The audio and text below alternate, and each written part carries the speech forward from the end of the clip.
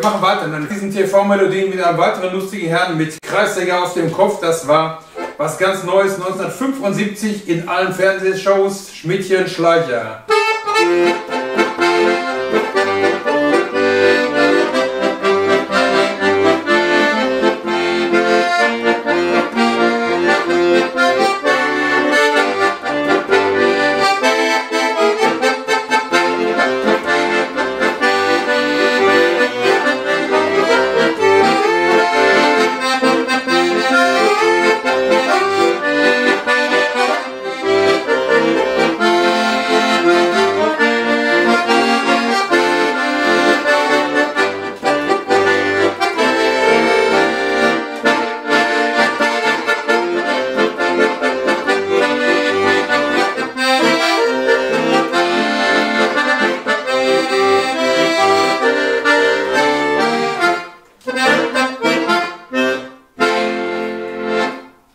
Dieser Charts nur Rhythmus, den kann man nur einmal pro Jahrzehnt in so einen Hit packen. Dann, macht, dann hat man sich das wieder tot gehört. Ne? Da muss wieder einschlafen. In den 80ern hatten wir keinen Charts nur Rhythmus, oder? Nein, aber in den 50er haben wir die Marschpolka gehabt. Echt? Ja, und ähm, ein Lied, was so ähnlich ist wie Schmidtchen Schleicher, war 1951 mit Conny Forrest, Pack die Badehose ein. Und im gleichen Jahr war Fred Rausch und Alfons Bauer mit, dem, mit der Polka, Herzschmerzpolka, erfolgreich. 1971 nochmal mit Karel Gott, daran erinnern uns alle noch, aber 1950 gab es sie auch schon. Also Pack die Badehose ein.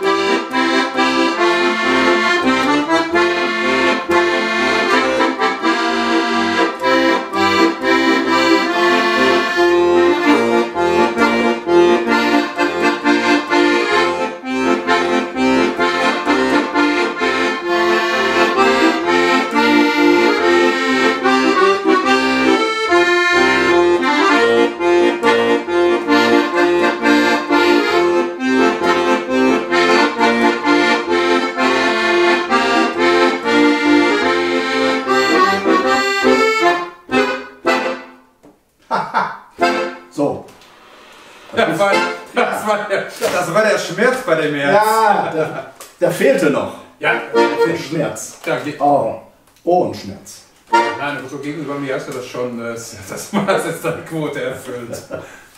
Wir gehen zurück in die 70er Jahre, da gab es schon gesellschaftskritische Themen, richtig gesellschaftskritisch, ähm, Junggesellenabschied.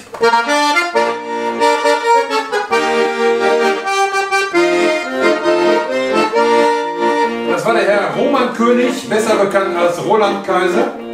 Das ist Roman König. Das war der aus dem Tatort, ja? Der,